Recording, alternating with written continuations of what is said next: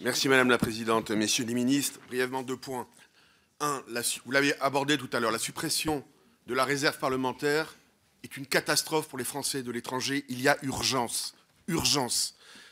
Où, en sommes-nous? Vous l'avez un peu abordé. Précisément, quel budget et quand, Monsieur le Ministre, lorsqu'on sait qu'aujourd'hui, nous avons maintenu la CSG-CRDS euh, pour les Français de l'étranger, ce qui est un véritable scandale, il y a urgence. Un deuxième point qui me tient très à cœur. Vous l'avez dit à plusieurs reprises, euh, on est dans un contexte de menace terrorisme. La lutte contre le terrorisme occupe une place centrale chez nous. Or, hier, 25 octobre, euh, il y a une prise de, euh, position officielle de votre porte-parole au Quai d'Orsay qui a demandé la libération de Salam Houri. Salah Houri est un terroriste qui appartient au FPLP. Salah Amouri, oui.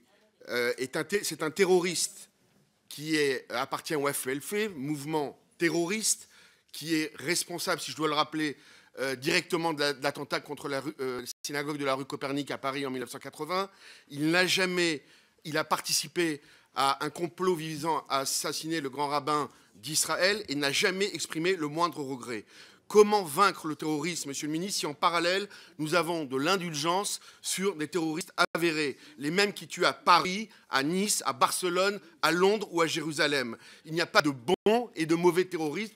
Lorsque je sais euh, que notre consul général, et excellent consul général, Pierre Cochard à Jérusalem, a été présent à un concours de plaidoirie euh, pour les droits de l'homme en Palestine euh, la semaine dernière, où on a remis un prix à quelqu'un qui a euh, directement, monsieur Maître Allian, qui a fait euh, l'apologie d'un terroriste qui a tué cinq civils israéliens euh, en 2014 à Arnof, à Jérusalem. Monsieur le ministre, je vous demande des réponses précises sur ces questions